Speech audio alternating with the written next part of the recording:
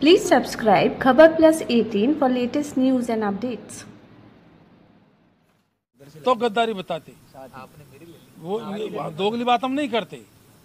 दो दोगली बात विशेष कर तो हमारे लोगों में न मेरे खुद के संस्कारों में नहीं है। या है जो है नहीं है तो नहीं है। भगवान सबको सद्बुद्धि दे मिलके काम करो। और जो हाईकमान मुख्यमंत्री बनाए वो मुख्यमंत्री बनाए जो हाईकमान अध्यक्ष बनाए अध्यक्ष बनाए तो कांग्रेस रिपीट हो जाए गवर्नमेंट की। नहीं इस तरह के वातावरण जो बन रहा है नहीं ठीक नहीं बन रहा। इससे बहुत ज़्यादा नुकसान हो रहा है।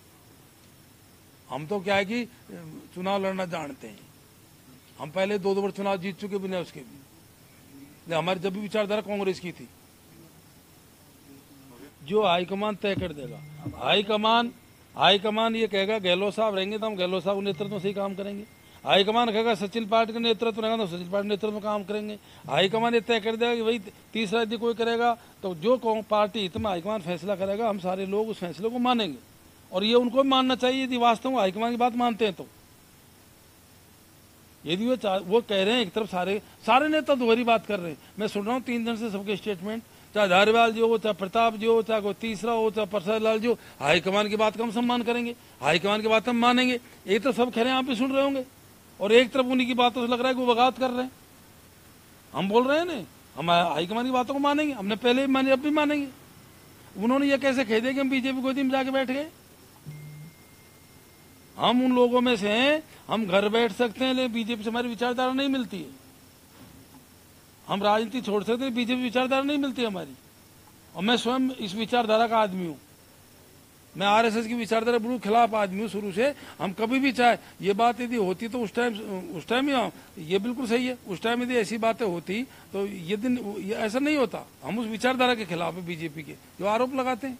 बीजेपी गोदी में जाके बैठ गए, बीजेपी चल जाएँगे। अब भी, मान लो कल उनके पूनिया ने बोल दिया स्वागत है तो हर नेता कहता है।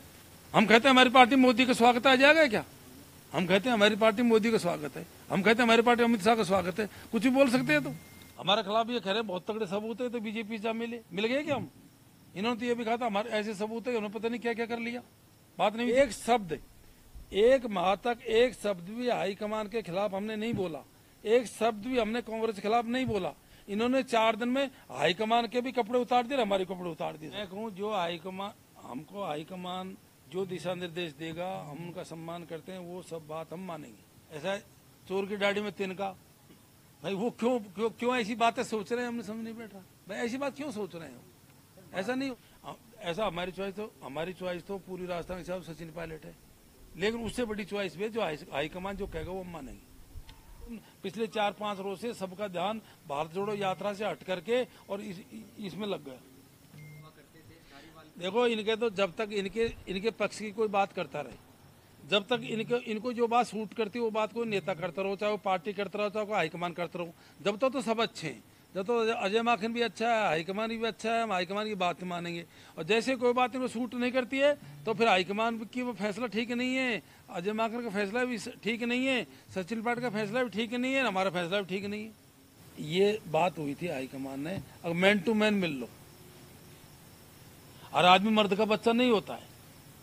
सब अपना टाइम पास करते हैं, आधे से ज़्यादा नेता मैन टू मैन मिलते पता लग जाता। मैं ये कह रहा हूँ, इनके बह क्यों बैठ रहा है? तो हम ये बोल रहे हैं बार बार कि जो हाईकमान कहेगा, वो हम मानेंगे, हाईकमान करेगा जो हम करेंगे, उनकी सारी बात मानेंगे, उनका अजय कोई कह रहा है कि ये बन जाएँगे तो हमारे ये कर देंगे, कोई को रहा है ये बन जाएँगे तो ये कर देंगे। एक ऐसा वातावरण क्यों क्रिएट कर रहे हैं ज़बरदस्ती का ही? अब तो एक साल चुनाव में रहेगा सबको मिलकर के काम करना चाहिए, और आने वाले टाइम कांग्रेस काम करो, वोट मिलेंगे तो जीतेंगे लोग। अच्छा आप चार पाँच विधायक हो तो स्टेटमेंट मैंने सुने भैया, सुने चार पाँच के तो? कहीं तो कोई क्या कह रहा है, कोई क्या बोल रहा है, अब उससे आप अंदाज लगा सकते हो मतलब। सर क्या आप ये ऑन रिकॉर्ड कह रहे हैं कि अगर सचिन पायलट को मुख्यमंत्री नहीं बनाया जाता है आला कमान द्वारा तो आप फिर से बगावत नहीं करेंगे? ऐसा हम ऑन रिकॉर्ड ये बात बोल रहे हैं अगर हाईकमान जो दिशा निर्देश देगा जो बैठ के तय करेगा उस बात को हम मानेंगे। सर हाईकमान से मिलने का कोई टाइम मांगा है? हमने कोई टाइम नहीं मांगा।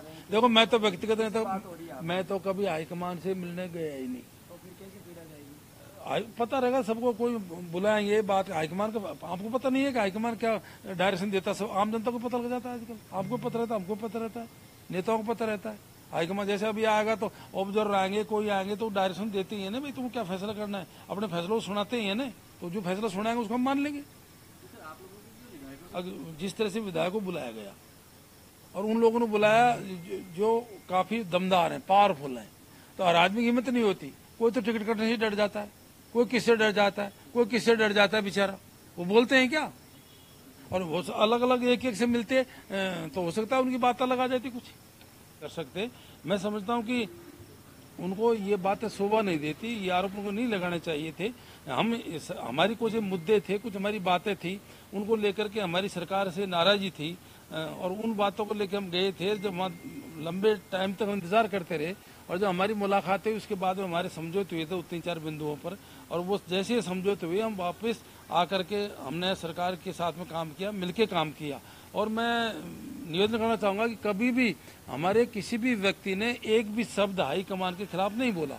हम हाईकमान के हाईकमान के विरोध में उन्होंने न कोई भाषा का प्रयोग किया नहीं हमने कभी कोई पार्टी के खिलाफ ऐसा कोई काम किया। हमारी जो नाराज़गी थी कुछ मुद्दों को लेके थी कुछ हमारे एस के मुद्दे थे, उनको लेके थी।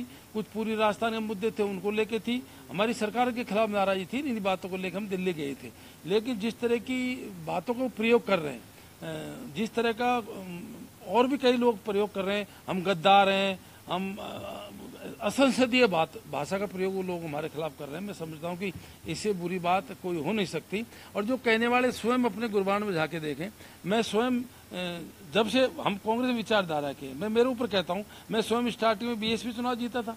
जब से हम कांग्रेस में आए, हम लगातार कांग्रेस के समर्पण की भावना से काम कर रहे हैं। पिछली सरकार में हम थे हमने समर्पण की भावना से काम किया, लगातार हम कांग्रेस से काम करते आए और जो आरोप लगा रहे हैं हम तो ऐसे समर्पण भावना से काम कर रहे हैं। आज स्वयं देख लो तो एक बार में ही जब तक इनको मलाईदार पद मिलते रहें, जब तक इनके काम होते रहें, जब तक तो कांग्रेस बने रहे। जब तक तो हाईकमान के वफादार बने रहे? और जैसे ही इनको कोई थोड़ा इनको झटका लगता है तो तुरंत बगावत कर देते हैं। 2008 में स्वयं को टिकट नहीं मिला था तो प्रसाद लाल जी निर्दलीय चुनाव लड़ा था। जब वो इतने हाईकमान के वफादार थे, इतने ही पार्टी के वफादार थे तो निर्दलीय चुनाव क्यों लड़ा? घर बैठते। घर बैठ के हाईकमान की बात और एक तरफ़ दोनों भाषा को प्रयोग कर रहे हैं। सारे नेता एक तरफ़ तो कह रहे हैं, हम हाईकमान का आदर करते हैं, हम हाईकमान की बातों को मानते हैं, हम हाईकमान की बातों को ये करते हैं, और दूसरी तरफ़ ये कहते हैं कि साहब 102 के अलावा किसी को हम मंत्री नहीं बनने देंगे, किसी को मुख्यमंत्री नहीं बनने देंगे भाई, जब नहीं बनने देंगे तो हाईकमान की बातों को मान खा रहे हैं प्लीज़ सब्सक्राइब खबर plus 18 for latest news and updates.